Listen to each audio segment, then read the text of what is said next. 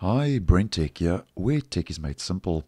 So recently, Google has announced that they are taking another step towards ending the need for us to be using passwords, where they have now introduced support for passkeys across um, the different Google accounts on all the different major platforms. Now, I did post on this late last year where passkey support was added and introduced to the Google Chrome web browser.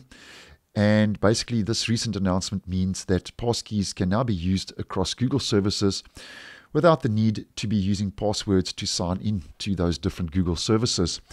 Now, just a brief overview and summary as to what passkeys are all about.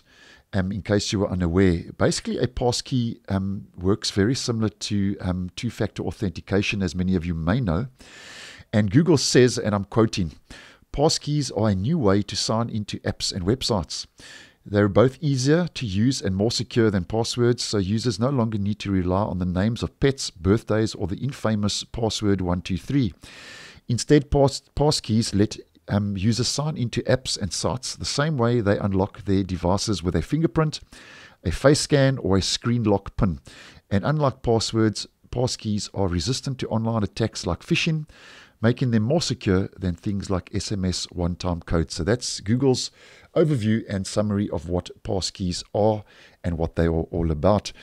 Now, to get to the passkeys and to set up a passkey, just to give you a brief overview, and obviously I cannot go through the whole process um, in this video because um, there are security um, factors and I don't want to expose that to the online world.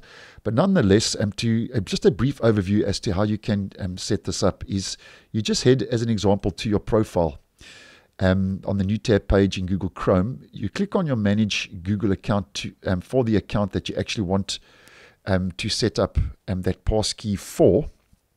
And then when you do um, click on Manage your Google account, as many of you will know, it'll take you over to your Google account page.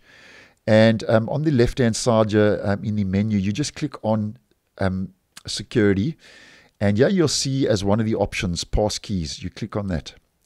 And then what that will do now is it'll take you over to the actual passkeys page. And yeah, we can see um, the info as mentioned. Um, you can sign into your Google account using your fingerprint, face, screen lock, and so on, as mentioned. And just take note it says automatically created passkeys. Android devices automatically create passkeys for you when you sign into your Google account. So just take note of that. And then you can obviously click on that link which will take you over where you can actually manage your Android devices and your mobile phones. Now, to create a passkey, we click on this link at the bottom.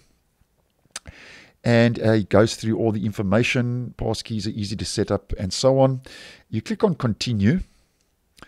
Um, yeah, you would have to um, enter your device PIN or your password if you don't have a PIN set up. And once that's done, you can now use your fingerprint, face screen lock, or hardware security key to verify it's really you signing in. You click on done, and there you go. A passkey has been created for your Google account. Now, that's more or less um, how you can create a passkey. Yeah, you can see you can edit that for the device and you can actually remove that. And obviously, I haven't shown you the whole process because there are security factors. And when it comes to my own accounts at risk here, but you will get the general idea. But just go click on create a passkey, follow the steps, and it's actually a very simple process. So just letting you know about that, that um, passkeys are now available.